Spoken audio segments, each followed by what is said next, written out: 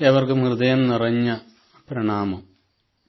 ശ്രീനാരായണ ധർമ്മത്തിലെ ഇരുന്നൂറ്റി അൻപത്തിയേഴാം ശ്ലോകമാണ് ഇനിയും പഠനാർഹമായിരിക്കുന്നത്.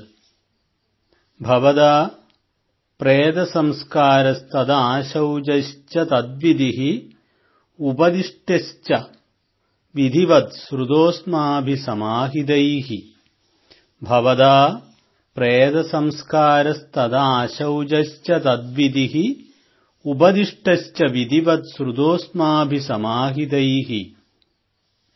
ഭവതാ അങ്ങയാൽ പ്രേതസംസ്കാര പ്രേതസംസ്കാരത്തെ ആശൗച തദ്വിധി ശൗചം തുടങ്ങിയ അതിന്റെ വിധിയും വിധിവത് വിധിപ്രകാരം ഉപദിഷ്ട ഉപദേശിക്കപ്പെട്ടത് സമാഹിതൈഹി.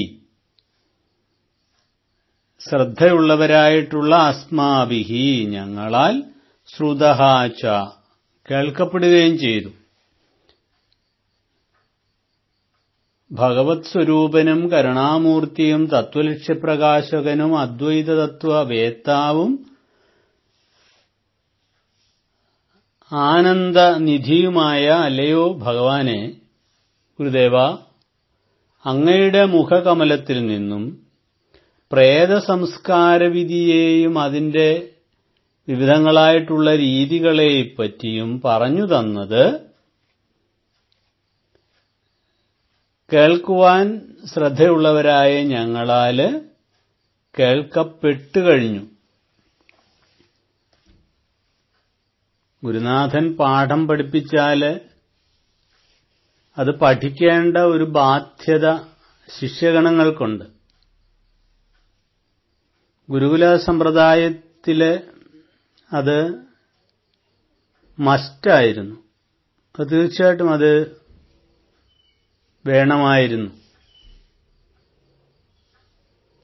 അക്കാലത്തെ പഠനത്തിന് ഒരു ശരിയായ ഒരു ഒരു രീതിയും ഉണ്ടായിരുന്നു അതിനകത്ത് ഒരു കാര്യമാണ് പഠിപ്പിക്കുന്ന കാര്യങ്ങൾ കൃത്യമായിട്ട് പഠിക്കണം. ഇന്നും അത് ആവശ്യമാണെങ്കിലും നൂറ് ശതമാനം ആളുകളും അത് ശ്രദ്ധിക്കുന്നില്ല. ഇന്ന് പഠിപ്പിക്കുന്നവർക്കും ആ കാര്യത്തിൽ വലിയ നിർബന്ധമൊന്നുമില്ല അവർ പഠിപ്പിക്കുന്നു വേണമെങ്കിൽ പഠിച്ചുകൊള്ളണം. മറിച്ച് മറ്റേത് അങ്ങനെയല്ല. ഗുരുകുലവാസം തന്നെ ആയിരുന്നില്ല അതുകൊണ്ട് ഗുരുവിന് വളരെ ശ്രദ്ധയുണ്ട് ഉത്തരവാദിത്വമുണ്ട്. ശമ്പളം മേടിക്കുന്നു അതിനുള്ള ജോലി ചെയ്യുക എന്നുള്ള തരത്തിലായിരുന്നില്ല അന്നത്തെ വിദ്യാഭ്യാസ സമ്പ്രദായം. അതൊരു തപശ്ചര്യ തന്നെയായിരുന്നു. ഒരു അർപ്പണ ബുദ്ധിയോടുകൂടിയാണ് അത് ചെയ്തിരുന്നത്. വിദ്യാഭ്യാസമുള്ളവര് തങ്ങളെ കരഗതമാക്കിയ വിദ്യ മറ്റുള്ളവർക്ക് പറഞ്ഞു കൊടുക്കുന്നതിൽ സന്തോഷവാന്മാരായിരുന്നു. അത് പ്രതിഫലം നോക്കിയായിരുന്നില്ല വിദ്യ പ്രതിഫലത്തിനായിരുന്ന കാലഘട്ടമായി പിന്നീട് വന്നതാ. അന്ന് വിദ്യ പഠിക്കുവാനും പഠിപ്പിക്കുവാനും ഒന്നും പണം ഒരു ക്രൈറ്റീരിയ ആയിരുന്നില്ല. നല്ല വിദ്യാഭ്യാസം ഉള്ള ആളുകൾക്ക് പോലും പഠിപ്പിക്കണമെങ്കിൽ ഒരു അധ്യാപകൻ അധ്യാപിക ആവണമെങ്കിൽ നല്ല പൈസ ചെലവുണ്ട്. ആ തരത്തിലാക്കി നമ്മളുടെ വിദ്യാഭ്യാസ സമ്പ്രദായത്തെ. അതൊരു കച്ചവടത്തിന്റെ തലത്തിലേക്ക് അതിനെ ഇകഴ്ത്തിക്കളഞ്ഞു. സ്കൂൾ നടത്തുന്നതിന് ലാഭത്തിനു വേണ്ടിയാ. അധ്യാപക തസ്തിക സൃഷ്ടിക്കുന്നത് മാനേജ്മെന്റിന്റെ നേട്ടത്തിനു വേണ്ടിയാ. നല്ല അധ്യാപകരല്ല അവിടെ നിർബന്ധമായിട്ടുള്ളത്. പൈസയുള്ള അധ്യാപകരായിരിക്കണം. പഠിപ്പിക്കാൻ കഴിവോ ഉണ്ടോ ഇല്ലയോ എന്നുള്ളത് രണ്ടാമത്തെ കാര്യമാണ് ഇന്ന്. പണമുണ്ടോ? കൊടുക്കാനുള്ള പൈസ കയ്യിലുണ്ടോ? ഇതാ ജോലി. അങ്ങനെ കൊടുക്കുന്നയാളെ പഠിപ്പിക്കാൻ ശേഷിയുള്ളവനാണോ? അതിൽ പരിചയമുള്ളവനാണോ? കുട്ടികളുമായിട്ട് ഇടപഴകുന്നതിൽ പ്രാവീണ്യമുള്ളവനാണ്. ഇതൊന്നും ഒരു വിഷയമേ അല്ല. കാശ് തന്നു കയറിക്കോ പഠിപ്പിച്ചോ എന്നുള്ള രീതിയിൽ വിദ്യാഭ്യാസത്തിന്റെ ക്വാളിറ്റി കുറഞ്ഞുപോയി ഇല്ലാതായി.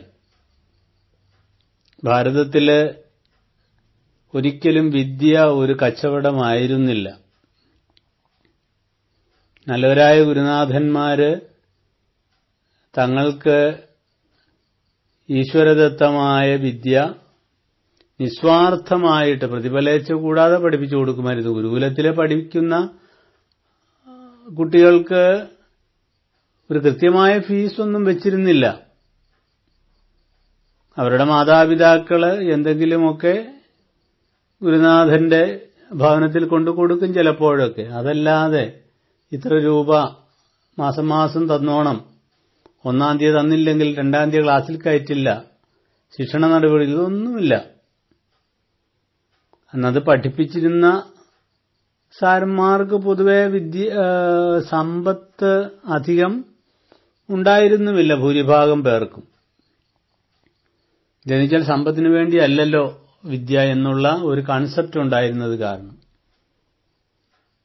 ഗുരുക്കന്മാര് പഠിപ്പിക്കും വിദ്യാർത്ഥികൾ പഠിക്കും പഠിപ്പിക്കാൻ പ്രയാസമുള്ള മാതാപിതാക്കളുണ്ടെങ്കിൽ അവരുടെ കാര്യം ഗുരുകുലത്തിന് അടുത്തുള്ള ഏതെങ്കിലുമൊക്കെ നല്ല തറവാടികളായിട്ടുള്ള ആളുകളെ ഏറ്റെടുക്കുമായിരുന്നു.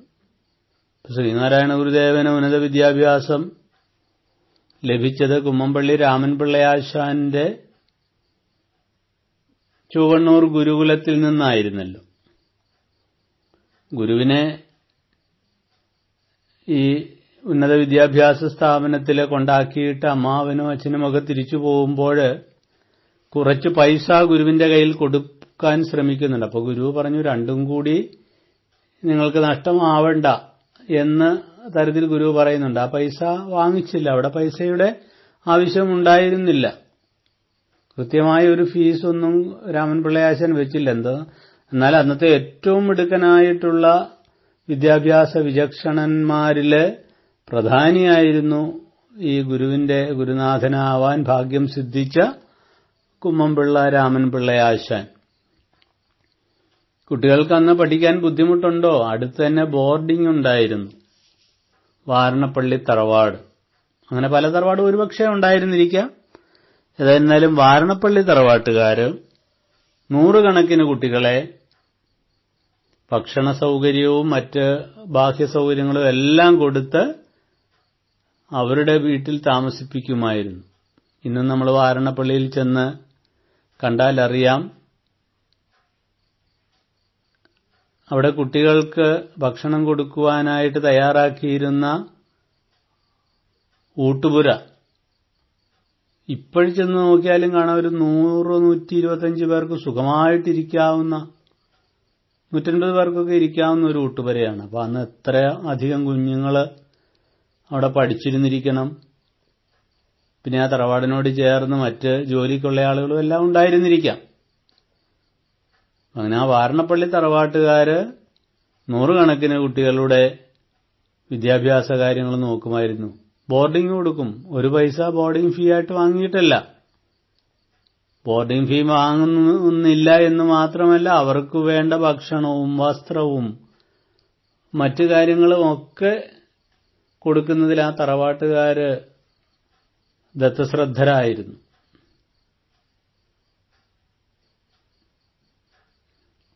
അന്ന് ഭക്ഷണ കച്ചവടവും ഉണ്ടായിരുന്നില്ലെങ്കും വഴിനീളയൊന്നും ഹോട്ടൽ ഉണ്ടായിരുന്നില്ല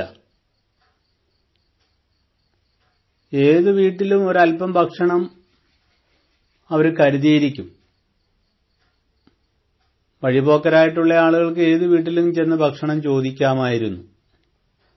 പിന്നെ അത് തന്നെയല്ല നല്ല ആളുകളൊക്കെ എന്ത് ചെയ്യും? ഭക്ഷണം കൊടുക്കാനുള്ള സംവിധാനം അന്ന് ഒരുക്കിയിരുന്നു. തണ്ണീർ പന്തൽ. വിഷമിച്ചു വരുന്ന ആളുകൾക്ക് സംഭാരവും നാരങ്ങ ശുദ്ധജലവുമൊക്കെ പലയിടങ്ങളിലും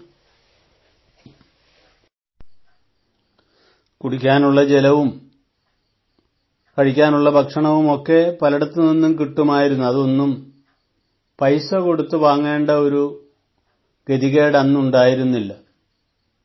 അന്ന് വിദ്യ ഒരിക്കലും ഒരു കച്ചവടമായിട്ട് കാണാഞ്ഞതുകൊണ്ട് വിദ്യാഭ്യസിക്കാൻ താൽപ്പര്യമുള്ളവർക്ക് വിദ്യാഭ്യാസം ഒരിക്കലും ബാലികയറാമലേ ആയിരുന്നില്ല. ഉന്നത വിദ്യാഭ്യാസം ഇന്നത്തെ പോലെ എല്ലാവരും ഒന്നും തരപ്പെടുത്തിയെന്ന് വരില്ല. പക്ഷെ ഉന്നത വിദ്യാഭ്യാസം ചെയ്യണമെന്നുള്ള ആളുകൾക്ക് അതിനുള്ള സങ്കേതങ്ങൾ അത്യാവശ്യമൊക്കെ ഉണ്ടായിരുന്നു.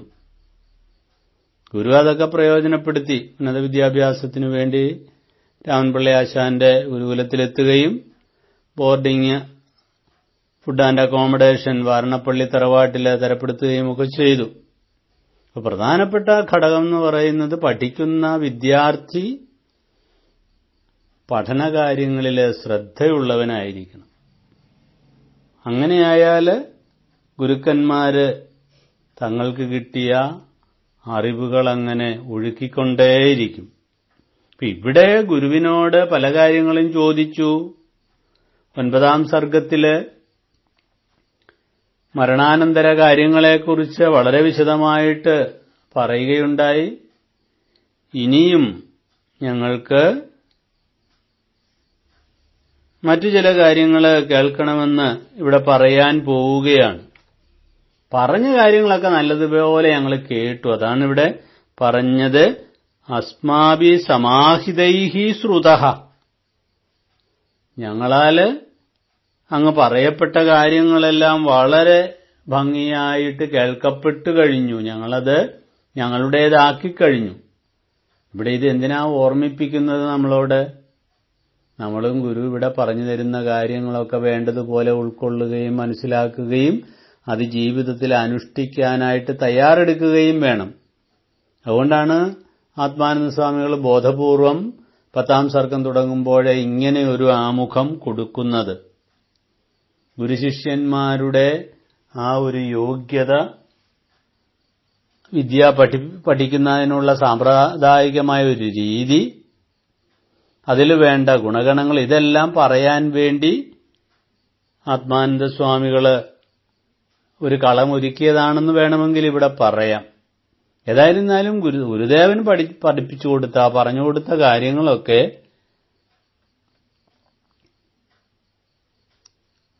ആത്മാനന്ദ പ്രകൃതികളായ ആത്മാനന്ദ സ്വാമികളെ ബോധാനന്ദ സ്വാമികളെ ശിവലിംഗദാസ് സ്വാമികൾ സത്യവ്രത സ്വാമികൾ തുടങ്ങിയ ആ സന്യസ്ത ശിഷ്യപരമ്പരയിലെ മിടുമിടുക്കന്മാര് ഉൾക്കൊള്ളുകയും അത് പ്രാവർത്തികമാക്കുകയും ചെയ്തു.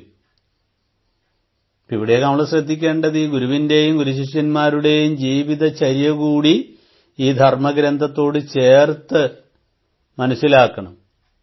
ഇപ്പൊ ഈ മരണാനന്തര കാര്യങ്ങൾ പറഞ്ഞപ്പോൾ താണിശ്ശേരിലകളെ കുറിച്ചൊക്കെ പറഞ്ഞല്ലോ. ഗുരുദേവൻ പത്ത് ദിവസത്തെ പുലാചരണങ്ങൾ പറഞ്ഞു. ബോധാനുസ്വാമി അത് അക്ഷരം പ്രതി പാലിച്ചു. അതിന് എത്രമാത്രം തടസ്സങ്ങളോ ബുദ്ധിമുട്ടുകളോ പ്രയാസങ്ങളോ വന്നാലും അതൊന്നൊരു വിഷയമേ അല്ലെന്നുള്ള രീതിയിൽ ഗുരുകൽപ്പന പ്രാവർത്തികമാക്കുവാൻ വേണ്ടി എന്ത് ശ്രദ്ധയോടുകൂടിയാണ് അവർ പെരുമാറിയത്? വൈക്കാട്ടിൽ ശങ്കരന്റെ ഭവനത്തിൽ ഉച്ചയ്ക്ക് ഉച്ച കഴിഞ്ഞപ്പോൾ തന്നെ ഗുരു പറയുകയാണ് ശങ്കരനോടൊപ്പം ബോധാനന്ദ സ്വാമി പോവാൻ പറഞ്ഞു അവിടെ പോയി കിടന്നോളാൻ പറഞ്ഞു. അങ്ങനെ പിറ്റേ ദിവസം ഉച്ചവരെ വൈക്കാട്ടിൽ ശങ്കരന്റെ ഭവനത്തിനും കടലിനും കൂടെ നടുക്കായിട്ട് അങ്ങനെ കിടക്കുക. ഗുരു പറഞ്ഞു അവിടെ പോയി കിടക്കാൻ. എപ്പോ എണീക്കണമെന്നോ എന്ത് ചെയ്യണമെന്നോ ഒന്നും തിരിച്ചു ചോദിച്ചില്ല. ഗുരു അവിടെ കിടന്നോളാൻ പറഞ്ഞ് നാമത്തി എത്തിക്കോളാം എന്ന് പറയുകയും ചെയ്തു.